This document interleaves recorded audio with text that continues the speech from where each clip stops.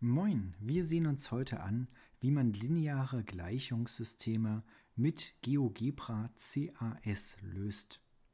Dazu habe ich auf der rechten Seite ein 3x3 lineares Gleichungssystem mitgebracht, in grün einmal in der Gleichungsschreibweise und in blau in der Matrixschreibweise. Das ist auch das einzig Sinnvolle, wofür wir den Taschenrechner nehmen, denn wenn es einfachere Gleichungen sind, einfach per Hand rechnen dann vielleicht mal eine Nebenrechnung so machen, aber da lohnt sich der Aufwand eigentlich nicht, das einzutippen. 2 mal 2 lineares Gleichungssystem, einfach Kramersche Regel, fertig, Ende. Hier lohnt es sich durchaus. Das werden wir gleich sehen. Ja, wir kriegen nicht allzu schöne Ergebnisse und die dann immer überall einzusetzen, da ist der Taschenrechner schon ganz gut. Ja, und natürlich auch für höhere 4x4 und so weiter, aber das kommt ja in der Regel sehr selten vor. Ja, wie geben wir das ein? Als erstes die Gleichungsvariante. Dabei definieren wir die drei Gleichungen. Wir könnten denen jetzt wie in der Schule schöne Namen geben, G1, G2 und so weiter. Das machen wir aber nicht. Denn bei GeoGebra kämpfen wir immer gegen die vier Tastaturen. Also wir haben hier unten einmal Zahlen, wir haben Funktionen, wir haben Buchstaben und wir haben Sonderzeichen. Und es ist irgendwie auch nicht so wirklich äh, konsistent sortiert. Also man muss immer irgendwo suchen. Von daher umso kürzer, umso besser. Ja, und das heißt für uns folgendes. Wir nennen die ganzen einfach AA, BB und CC. Warum nicht ABC? Naja, einzelne Buchstaben kommen bei Gleichung gerne auch mal als Parameter oder Variablen oder irgendwie einfach zum Spaß vor. Daher irgendwas nehmen, das nicht typisch ist. Doppelvariablen, ja, AA, das gibt es so typischerweise nicht, bieten sich hier also an. Ja, und wie machen wir das jetzt? Wir beginnen mit einem Doppelpunkt. Eigentlich definiert man ja mit Doppelpunkt gleich, aber bei GeoGebra reicht ja auch einfach der Doppelpunkt. Das heißt also AA ist, und jetzt schreiben wir einfach ab, 3x plus 3y und schon für das z müssen wir jetzt einmal wechseln, minus z zurück ist gleich 5 und dann Enter. Und wenn da kein Fehler steht, dann haben wir es offensichtlich richtig definiert. Ja, dasselbe mit b. bb wird definiert als, und da haben wir 4x plus 5y plus z. So, da. Und das Ganze ist minus 1. Und als letztes cc. Das definieren wir als 2x minus 5y plus 7z. Da. Und das ist 9. Ihr wart jetzt beim Mitmachen und Aufschreiben hoffentlich schneller als ich, denn das muss man einfach viel üben, dann ist man da sicherlich drin und ja, dann könnt ihr das.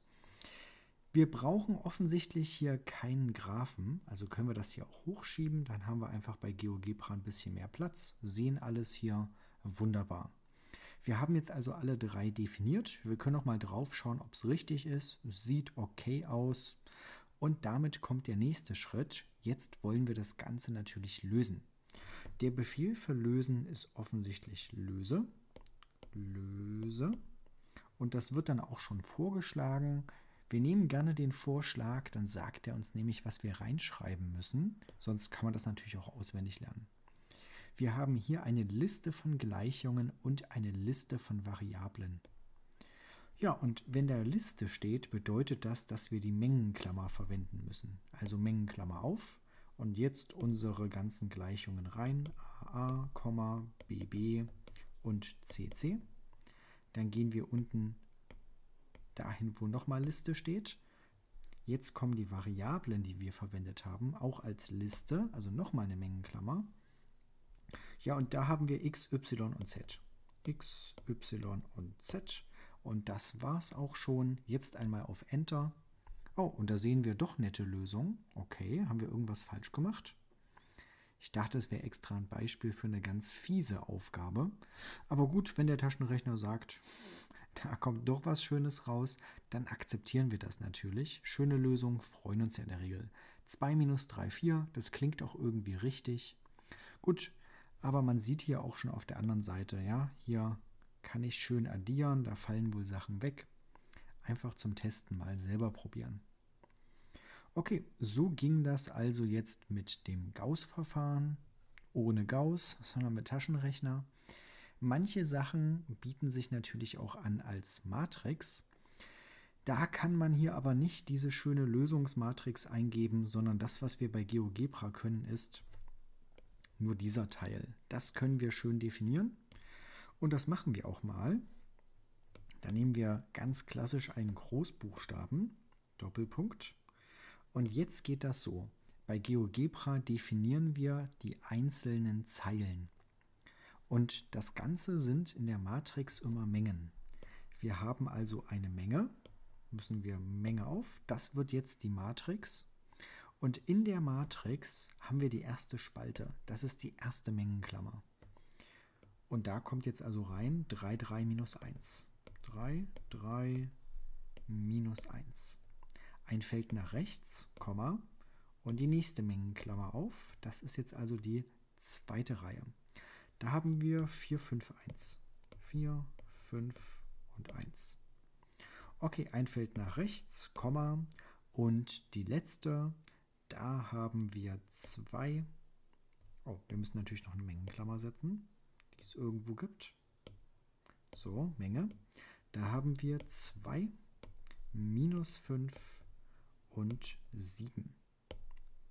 Alles klar, das Ganze mal mit Enter eingegeben und das sieht natürlich von der Optik jetzt einfach mal ein bisschen ansprechender aus. Der große Vorteil ist, wir können schöner vergleichen, ob wir es richtig eingegeben haben. Also wir sehen hier auf mit ja, einem, vielleicht mit zwei Blicken, das stimmt, das ist richtig eingegeben. Lässt sich einfach besser anschauen. Ja, und wofür können wir das nutzen? Leider nicht für allzu viel. Also klar, wir könnten jetzt noch mit Vektorrechnung hier natürlich das auch lösen. Aber wofür das ja eigentlich spannend ist, ist die Determinante. Und das können wir natürlich einfach mal machen, indem wir hier sagen, wir hätten gerne die Determinante von der Matrix A. Einmal Enter. Und da haben wir 72. Wunderbar. Und jetzt könnten wir mit der Kramerschen Regel natürlich die Unterdeterminanten ausrechnen und ja, dann entsprechend äh, rausfinden, was x, y und z sind. Können wir an einer Stelle mal machen, denn sobald wir die erste Matrix haben, wird das Ganze ein bisschen schöner. Wir können jetzt nämlich hinter a auf die drei Punkte klicken und sagen, wir möchten einmal die Eingabe duplizieren. Und dann haben wir direkt eine Matrix in der Matrix-Schreibweise. Ja, und bei, äh, jetzt nutzen wir die Kramersche Regel und spielen einmal hier Sarü, nur eben mit dem Rechner. Das heißt, in der ersten Spalte, da wird jetzt die Lösungsspalte eingesetzt. Und das heißt, ich klicke hier einfach mal hin und sage, ich hätte dort gerne eine 5. Und unten drunter hätte ich gerne eine minus 1. Und dort noch eine 9. Und ja, das ist jetzt vielleicht mein Groß B. So, definieren wir ruhig noch. Ich könnte das auch in einem Schritt machen, aber lieber immer Zwischenschritte. Ja, schadet ja auch keinem. Jetzt habe ich also mein b definiert und kann jetzt mal meine Unterdeterminante berechnen, indem ich einfach eingebe, ich hätte gerne die Determinante von meinem b. Und da bekomme ich 288. Sieht gut aus, aber wenn wir jetzt ganz sicher gehen wollten, könnten wir jetzt noch Determinante von b durch Determinante von a definieren. Aber wir können jetzt einfach mal sagen, was ist denn 288 geteilt durch 72? Und da kommt tatsächlich 4 raus. Also sonst nochmal gerne anschauen. Ähm, Kramersche Regel zusammen mit äh, Sarü. Äh, letztes Video von mir, auch als Erklärung. Ja, und so könnten wir jetzt hier Kramer Schritt für Schritt durchgehen, ja, um vielleicht die Zwischenergebnisse zu kontrollieren. Wenn wir einfach nur die Lösung wollen, dann ist es auf jeden Fall das Einfachste, wie oben gesehen, die Gleichungen der Reihe nach reinzuhämmern und dann das Ganze einfach mal zu lösen.